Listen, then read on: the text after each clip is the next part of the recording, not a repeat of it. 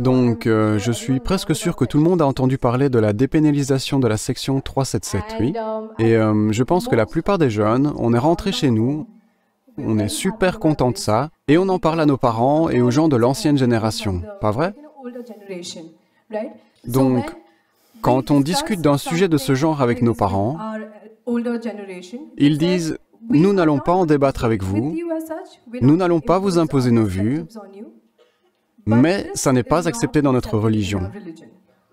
Donc, j'aimerais juste connaître votre perspective sur la communauté LGTB ou l'homosexualité en tant que telle et la religion. Voyez, probablement, jusqu'ici, majoritairement dans la société, dans les médias, sur les réseaux sociaux, tout le monde se positionne soit pour, soit contre. Pouvons-nous, pour une fois, ne pas nous positionner pour ou contre et simplement examiner le sujet tel qu'il est. Pouvons-nous? Regardez-moi, je ne suis pas prude, ok? Que ce soit bien clair. Donc, lorsqu'on dit sexualité, comprenons cela. C'est quelque chose que la nature a mis en nous.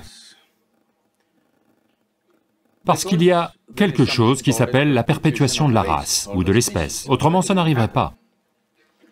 Bien sûr, étant des êtres humains, ayant plus de cerveau que de corps, en principe, à cause de cela, nous avons en quelque sorte éliminé l'aspect reproductif et nous utilisons juste l'aspect plaisir. Ok? C'est majoritairement ça la sexualité dans le monde d'aujourd'hui. Mais essentiellement, ce plaisir est apparu dans le processus de la sexualité parce que, autrement, eh bien, s'il n'y avait aucun plaisir à ça, peut-être que nous ne serions pas nés, vous et moi.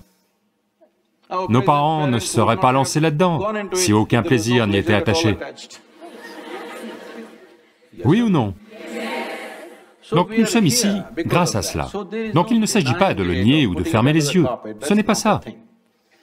Mais quelqu'un a une certaine préférence sexuelle, qui n'a rien à voir avec le processus reproductif en tant que tel.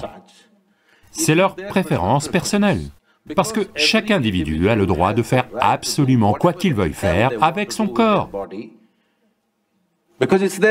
Parce que c'est son corps. Mais si c'est dommageable, vous voulez vous coupez le nez, ou vous voulez vous couper autre chose, alors on va peut-être essayer de vous en empêcher.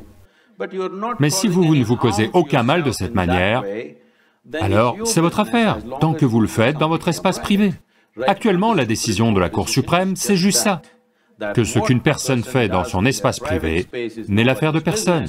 Le gouvernement n'entre pas dans les chambres des gens, ça c'est la loi. Ok. Maintenant, pour en venir à cette résistance religieuse, ça n'a rien de religieux. Nous n'avons pas à les discriminer, nous n'avons pas à les persécuter, nous n'avons pas à les mettre en prison, ce n'est définitivement pas nécessaire. Mais en même temps, ça n'a pas besoin de publicité non plus. Donc, vous n'avez pas à... Quand vos parents disent quelque chose, ils se réfèrent peut-être à la religion parce qu'ils pensent que c'est une autorité. Vous, oubliez l'autorité, écoutez juste les mots. Si ça a du sens, faites-le. Si ça n'a pas de sens, dites-le leur poliment. Ce n'est pas comme ça que je vois les choses, ok? Thank you.